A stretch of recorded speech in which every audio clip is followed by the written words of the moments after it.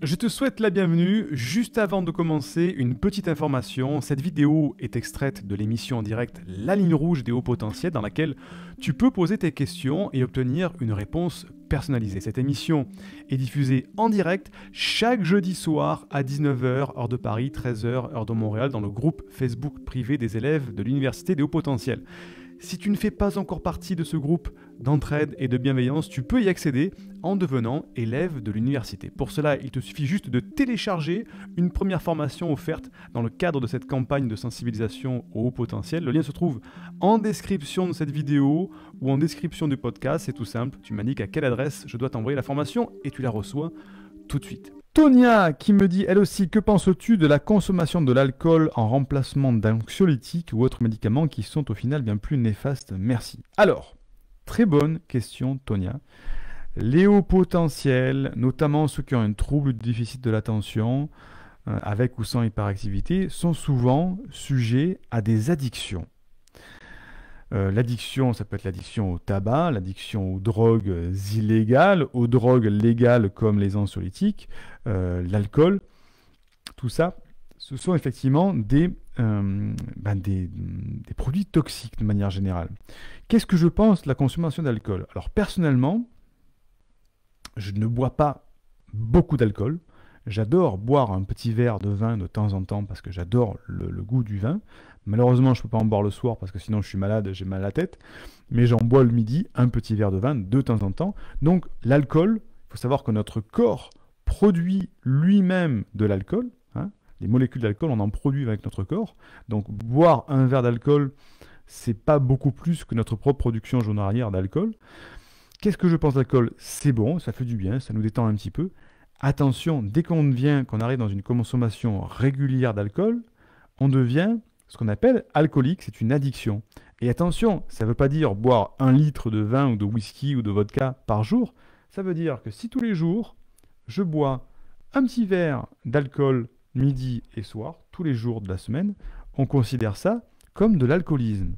Parce qu'il y a une prise régulière de quelque chose. C'est comme quelqu'un qui dit Oh, moi je fume pas, je fume juste une cigarette tous les jours.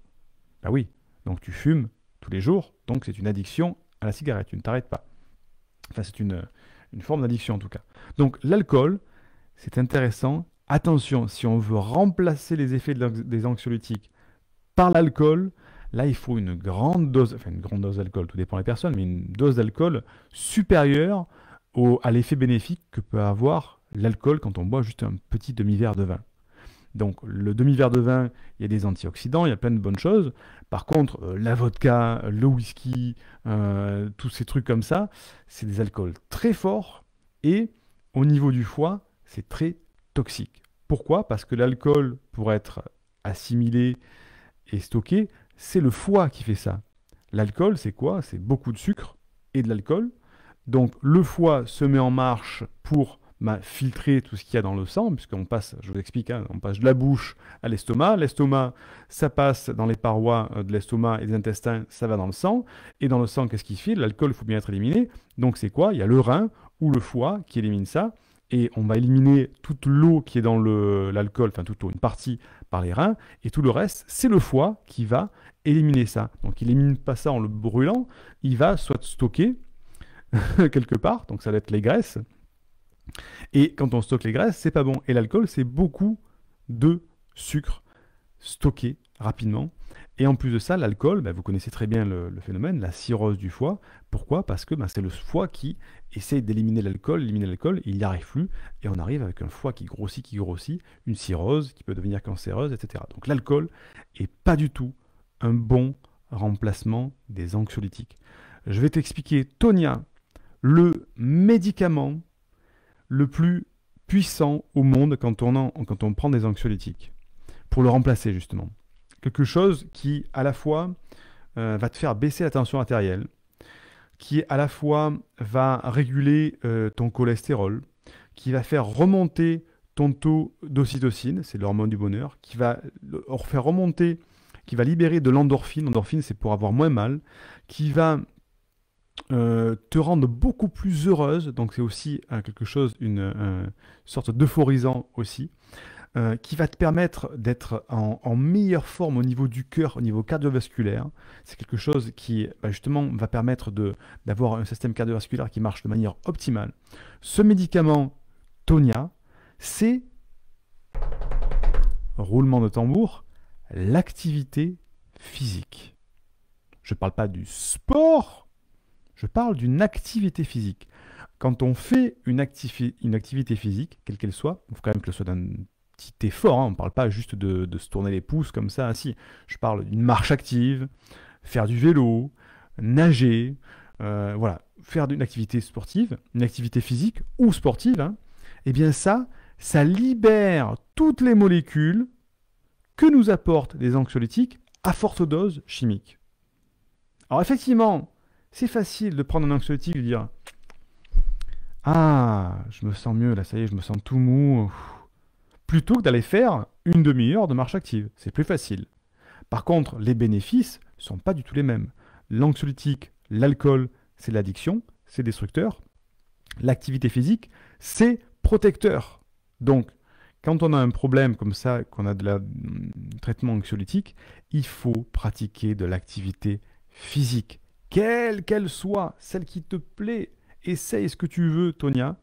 Trouve quelque chose dans lequel tu te fais plaisir et pratique.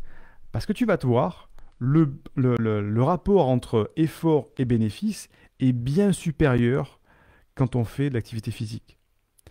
Il faut toujours faire attention de laisser passer ces fameuses deux semaines d'activité physique, parce que quand on se dit, ok, Siegfried m'a dit de faire de la marche active, ok, marcher une demi-heure au niveau actif, je l'ai fait pendant deux jours, j'avais mal aux jambes, et puis mal au dos, en plus les pieds, j'avais pas l'habitude de marcher, alors c'est pas pour moi, si je fais ça pendant deux semaines, je suis cuit, c'est même pas la peine. Mais justement, c'est pendant ces deux semaines-là que le corps s'adapte, et au bout de deux semaines, c'est là où ça devient facile. Malheureusement, c'est pendant ces 15 jours que la majorité des gens abandonnent.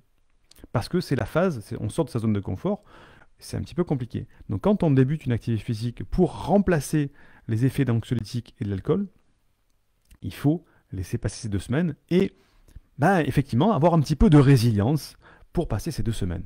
Et après ces deux semaines-là, c'est là où on prend du plaisir et qu'on commence à avoir les effets très positifs, hormonaux, psychologiques de l'activité physique ou du sport. Si Tonia, tu préfères par exemple un sport plus dur, si tu préfères aller taper dans un, sac de boxe ou des trucs comme ça, tant mieux. Ça sera encore mieux parce que tu vas encore plus libérer d'endorphines, de, cytocine, etc. Mais l'alcool, petite dose, un petit verre pour se faire plaisir, ça fait du bien. S'il faut boire une demi-bouteille de vin pour contrebalancer euh, les anxiolytiques que tu prends plus, c'est suicidaire. Indique-moi en description à quelle adresse t'as envoyé la formation offerte qui s'intitule Canaliste et pensée envahissante et profite de l'instant présent. Et surtout, partage cette vidéo à une personne de ton entourage que ça pourrait aider. Et n'oublie pas, comme le disait Einstein, la folie c'est de faire toujours la même chose et de s'attendre à un résultat différent.